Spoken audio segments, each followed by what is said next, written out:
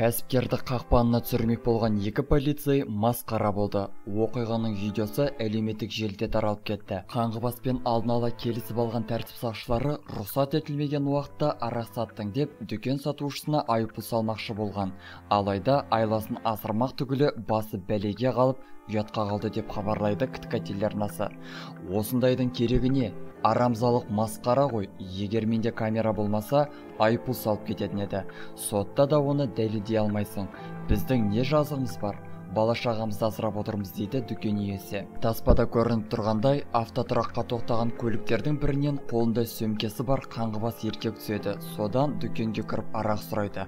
Алайда әлі таңғы уақыт болғандықтан сатушы оған арақ сатпайды. Біраз тұрған соң маскүнем далаға шығып кетеді. Осы уақытта қаңғыбас түскен көліктен екі полицей де шығады. Бірі тоқтап қаңғыбаспен сөйлесіп тұрады. Ал екіншісі айналып барып дүкенге кіреді. Артынша қалған екеуі кіреді. Кәсіпкердің айтуынша бірінші кірген полицей бірден рұқсат етілмеген уақытта арақ саттың деп дүкен иесін қыспаққа ала бастапты. Сөмкесінде жатқан арақты көрсетіп маскүнем де сақшының сөзін растайды. Алайда дүкен ішінде де камера орнатқан кәсіпкер өзінің арақ сатпағанын көрсетіп құтылады. Айласы аспай қалғанына көзі жеткен екеу маскүнемді ертіп қайтадан бір көлікке мініп кетеді. Бұл жағдай үш күн бұрын орын алған. Қулық жасап тұрған жерінен бейнебақылау камерасына түсіп қалған полиция қызметкерлерін ішкі істер министрлігі іздестіріп жатыр. Кіру керек иә міне кірді үлкейтіп көрсетіп тұрмын. Міне кірді маған қарай келді. Міне мына жерде келді. Арақ бар ма деп сұрады. Мен айттым арақ он екіден кейін сатылады дедім. А деді да темекі бер деді. Міне көрсетіп тұрмын мен бәрін көрсетіп тұрмын. Темекі бер деді сосын темекіні алдым да бердім бұл жерде ешқандай арақ сатылған жоқ бірақ арақ пакетінде дайын тұр осындайдың керегі не подлянка масқара и сосын міне сдачаны санап жатырмын да сөйлесіп жатырмын анау мынау қал жағдай и мен сдачын бердім мінекей алдым тиындарын маған екі мың теңге ақша берді міне сдачын бердім сдачын алды ал давай жақсы деп кетті бұл кісі. Көкең кетті. Көкең кетті міне. Бұл сағат үйде сағат бәрі. Ал енді былай қарай как будто бір айдалада жүрген ұқсап былай қарай кетіп бара жатыр да. Былай қарай қазір ал алқаш шал шығады көкеміз. Соны алдынан уже күтіп алуға міне міне мына кісі шықты уже бітті. Ал мына кісі дөйіп бара жатыр артындағы напарнигі былай қарай дөйіп бара жатыр как будто ол не при чем жай жүрген көшеде жай қадырып жүргендей. Мына айналып келеді ғой ал мына кісі міне өз өзін таныстырды. Как органның адамы қызметте жүргендей қайдан білсін е мына кісі мына жақтан мына жақтан айналып қараңыз дөйіп бара жатқан міне мына жерден шығады. Хоп. Хоппа мына жерден. Ана жақтан ана жақтан шықты магазин жақта. Мына кісі мына е сен арақ алыпсың ғой. Өздері білмей қалып өздері салады да. Сен арақ алып кетті уже мына магазин алдың ба? Жүр. Все магазин протокол толтырамыз қазір. Езуін тілейміз. Кеттік. Магазинге келе жатыр. В общем осындай жағдай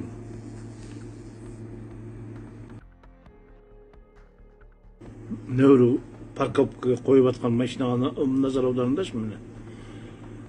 Иә осы машинадан қазір алқаш көкемді жібереді екі полицейский отыр. За рулем толықтау келген артында арық полицейский отыр.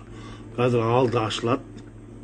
Мінекейіңіз алды ашылды алды ашылды көрдіңіз бе міне шықты бұл алқаш көкеміз енді осы машинаға назар аударыңыздар алдында ауди сто тұр оның артында бх тұр оның соның ар жағында мына машина шықты міне келе жатыр бұл кісі алқаш көк алқаш кісі енді арақ ішіп нетіп кеткен осындайда ұстап алады менттер сосын ішіне енді қазір ешкім арақ сатпайды ғой он екі он екіден кейін сатады ғой мысалы. Ішінде пакеттің ішінде арағы бар бұған арағы бар осындай магазинге жібереді. Дайын уже. Көрдің ба? Дайын арағы бар магазинге жібереді. Егер магазиндегілер ә, нетпесе жерде. Мына. Көріп жатыр істеп жатырмын мен ә, енді шамалы волнение бар ана мисалға келген адам жетесің ғой шамалы волноваться сонда да парольді ұмытып қалдым парольді аштым и мына жерде мен көрсетіп жатырмын егер менде камера болмаса маған штраф салып кететін еді по любому и сотта да оны доказать алмайсың ананы да доказать алмайсың бұлар сөйтеді сөйтеді да протокол толтырады да штраф салып кететін еді маған енді осыған осы осындайғаларға енді мен бір жаза бар ма әлде. Осылай жүре береміз ба өйстіп штраф төлеп. Бюджетті біздің есебімізден бюджетті толтыра бере ма? Енді біздің не жазығымыз бар? Біз семьямызды асырап жатырмыз. Мысалы шынымды айтайын. Бес баламыз бар. Кейде қайта қайта келеді тығылып келеді үйтіп келеді. Мына камераны көрсеттім. Камераны көріп жатыр танысып жатыр. Ол да документ оның бәрін ертең шығарып аламын. Бір қателігім мынау қызмет органдарынан мен құжаттарын сұрамаппын аттарын білмейді екенмін. Қазіргі сол кездегі уақытта бірінші камера жұмыс істеп тұр ғой. Сол кездегі уақытта 25 август 11-ден 30 кеткен кезде бұл уақыт. Мына көрсетіп жатырмын таныстырып жатырмын мына үлкейтіп алқаш көкеміз қасымызда тұр.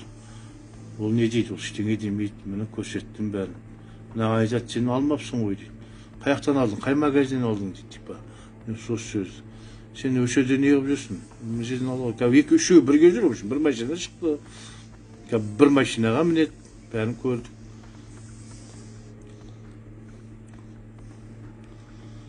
міне камераны көрсеттім міне кетіп бара жатыр енді не істейді енді ешқандай доказательство жоқ мына кісі далаға ұмтылды мына кісі міне толықтау жаңағы ат жөнін білмейді екен. Полиция органы полиция қызметкері міне жерде анаған бұл водитель.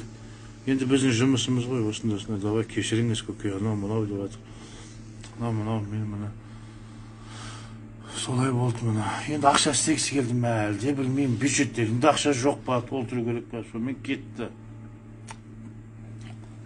Мемлекет шығып бара жатып реніш болмасын анау мынау қыртысады тағы айтты маған братан давай ешкімге нетпей ақ қой нормально все болады. Ешкімге нетпей ақ қой ешкімге көрсетпей ақ қой анау деп кетіп бара жатыр и жарайды давай жақсы сау бол деді. Кетті жарайды сау бол. Давай давай давай братчик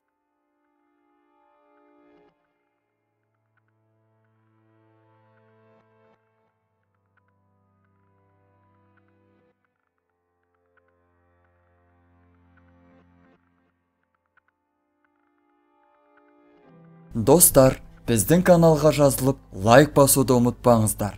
Келесі шығарылымдар тек қана сіздер үшін.